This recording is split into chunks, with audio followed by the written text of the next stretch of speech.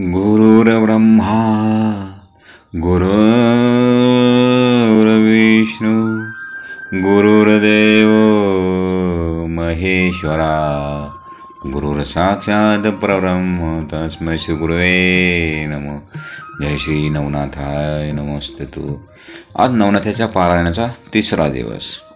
तर आज तिसऱ्या दिवसाचा आज अध्याय तिसरा. नेमकं मारुती ह्या अध्यायात बघणार आहोत मारुती आणि मच्छिंद्रनाथ यांची भेट आणि मच्छिंद्रनाथांचं श्रीराज्याकडे मात्र गमन.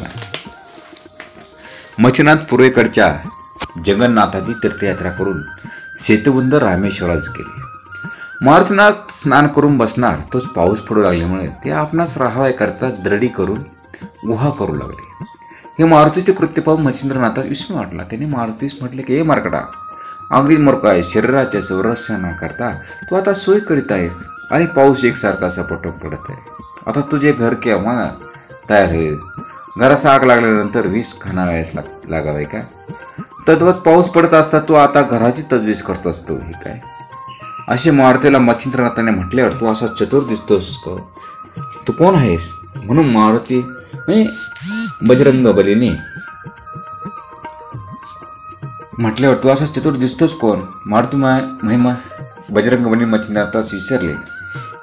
तेव्हा मी जती आहे मला मच्छिंद्र म्हणतात असे त्यांनी उत्तर. दिले तेव्हा तुला जती असे लोक कोणत्या अर्थाने म्हणतात? असे मारुती रायाने मच्छिंद्रास म्हणाले. तेव्हा त्याने उत्तर दिले की त्यावेळेस मारुती म्हणाला आजपर्यंत आम्ही एक हनुमंत जती आहे असे ऐकत होतो.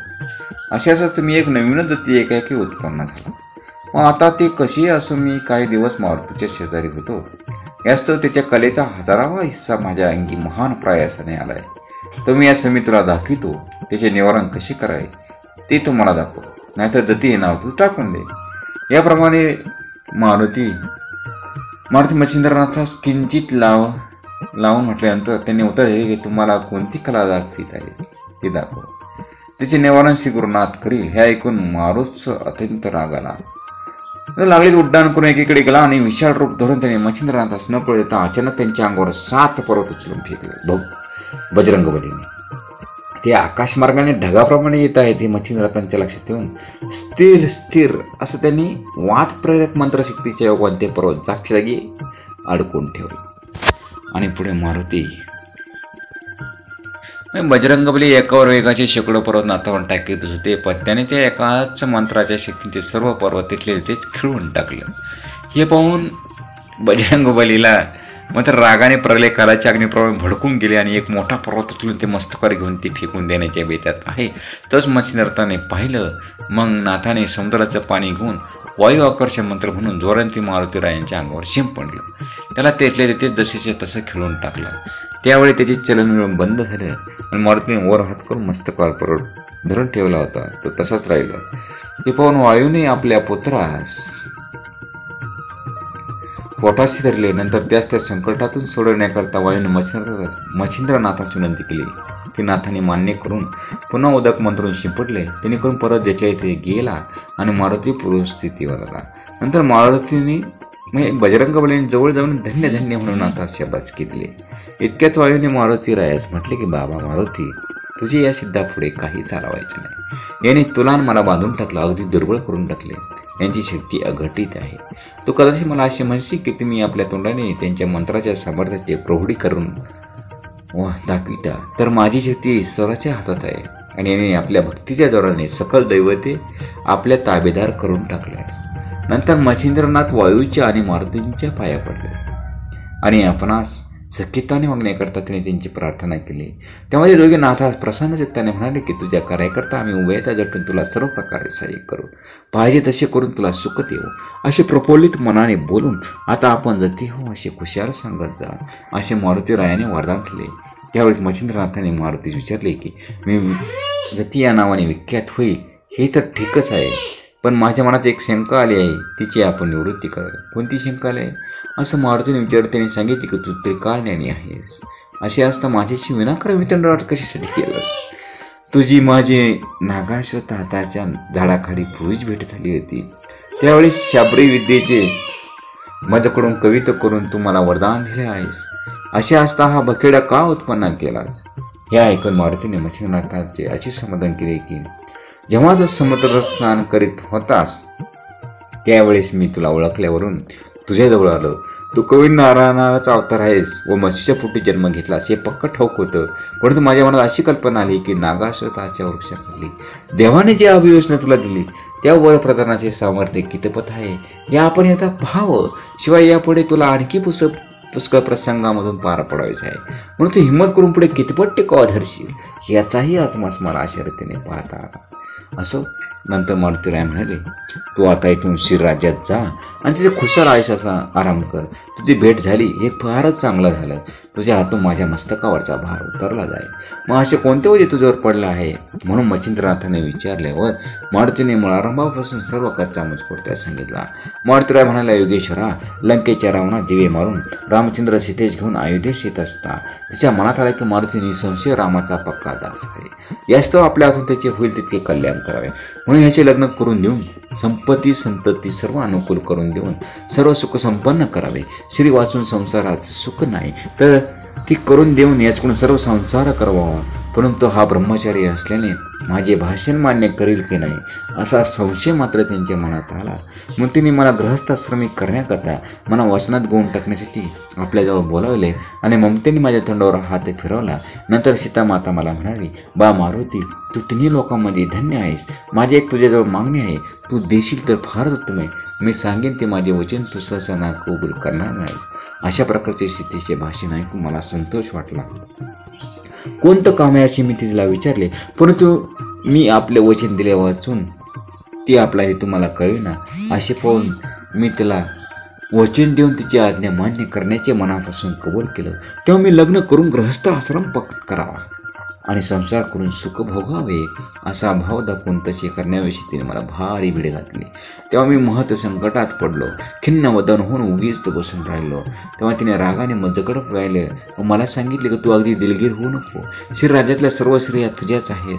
परंतु याची मख्खी अशी आहे की तुला व मला चार चौकोडीत जन्म घेवायचा असतो. मी व रामाने नव्याण्णव वेळा घेतला आहे तोही नव्या नव्या मारुती आहे. व त्याप्रमाणे लंकाधीश नावे नावा होय त्याच मारून आल्यानंतर तुला श्रीराज्यात जावे लागेल. तो योगाचा घडून आला. यास्तव समयास अनुसरून वाद याप्रमाणे श्रीराम प्रभूंनी मला सांगितल्यानंतर मी श्रीराज्यात गेलो. त्यावेळी त्या ठिकाणी मैनाकिनी नावाची राणी राज्य करीत होती. पृथ्वीच्या अन्य भागावर मनुष्य पशु पक्षी आदी करून सर्व स्त्री पुरुष एके ठिकाणी आनंदाने रममान होतात असे तिचे ऐकवत आले होते. ही कल्पना मनावात उद्भवता तिच्या अंगाची लाहिलाई होऊन गेली. प्रत्यक्ष मारुतीचा संघ घडावा म्हणून ते अनुष्ठान करू लागले आणि आपल्या शरीराचे मांस तोडून तिने अग्निकुंडात माझ्या नावाने आहुती दिल्या. असे अनुष्ठान तिने बारा वर्षापर्यंत केले. त्यामुळे तिच्या अंगावरचे सारे मांस संपले तरी तिचा निश्चय ढरेना अशी पाहून मी तिला प्रसन्न झालं. त्यावेळी ती माझ्या पायाकडून मनोरवाद पूर्ण करण्याकरिता विनंती करू लागली. तेव्हा तुझा कोणता हेतू आहे म्हणून मी तिला विचारलं. तेव्हा ती मला म्हणाली की मारती तुझ्या भूपकारापासून ती सर्व स्त्रिया गर्भिणी राहतात. या तू तेथील स्त्रियांचा प्राणनाथ ठरतोस.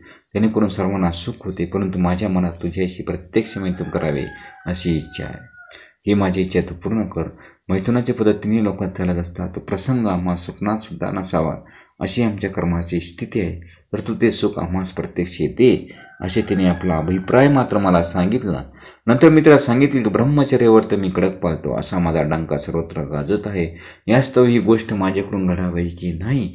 आता तुझे मनोरथ पूर्ण करायकरता मात्र मच्छिंद्रनाथ मात्र येथे येते.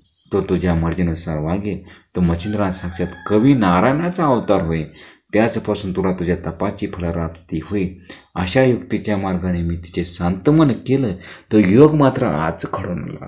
तर तू तिकडे जाऊन तिचे मनोरथ पूर्ण कर. मारुतीचे असे भाष्य नायक. मच्छिंद्रनाथाने सांगितले की मीही उर्दू रहितच आहे. म्हणून मला एक कार्य सांगून काय उपयोग आहे? माझ्या ब्रह्मचार्याचा मात्र आशेने समोर नाश होईल. व जगात दुर्लौकिक होईल म्हणून एक कुकर्म मला सांगू नये. माझा श्री संघ हा अपकीर्तीचा भांडार आहे. म्हणून ही गोष्ट करावी असे माझ्या मनात येत नाही. अशा प्रकारचे मच्छिंद्रनाथाचे भाषण ऐकून मारुतीने त्यात सांगितले की ही अनादी कालापासून रहाटी चालत आहे. म्हणून भोग भोगल्याचा दोष नाही. जसे नव्याण्णव मारुती तसे नव्याण्णव मच्छिंद्रनाथ असा क्रम चालत आला आहे. तुझ्या पोटी मिनीनाथ म्हणून पुत्र होईल त्याची सूर्यासारखी कीर्ती प्रकट होईल. असे मारुतीने त्यास सांगून त्यांचं मन वळवून घेतलं. मग मारुतीच्या म्हणण्यास मानदेव मच्छिंद्रनाथ श्रीराजा जाण्यास कपूळ झाले आणि एकमेकास नमस्कार करून दोघेजणी मार्गस्थ झाले. असा हा तिसरा अध्याय मात्र मारुती राया आणि मच्छिंद्रनाथ यांच्या संवादातून आणि यांचं जे युद्ध झालं मारुतीरायाने मच्छिंद्रनाथांची एक प्रकारची परीक्षा बघितली आणि त्याच्यामध्ये मच्छिंद्रनाथ पूर्णपणे मात्र उतरले. आणि अखेर मात्र मैनाकिनीसाठी आणि त्यांनी केलेल्या त्या तपश्चर्यासाठी अखेर मात्र हनुमंतरायांची मात्र खऱ्या अर्थाने हनुमंतराय प्रसन्न तर झाले पण हनुमंतराय म्हटले माझी अखंड जे ब्रह्मचर्य व्रत आहे ते मात्र मी खंडित करू शकत नाही पण तुझ्यासाठी मात्र नवनारायणापैकी एक नारायण मात्र येणार आणि तुझ्या पोटी मात्र एक अलौकिक असं बालक जन्मास येणार म्हणजे तुझ्या पोटी देखील एक नवनारायणच जन्मास येणार असं सांगितलं. आणि अखेर मात्र मच्छिंद्रनाथांना मात्र त्यांना शिवराज्याकडे मात्र जाण्यास भाग पाडलं. असा हा तिसरा अध्याय मात्र इथे समाप्त झाला. जय श्री गुरुदेव दत्त. गुरुर ब्रह्मा गुरुर विष्णू गुरुर्देव महेश्वरा. गुरुर साक्षात. ओम नम शिवाय.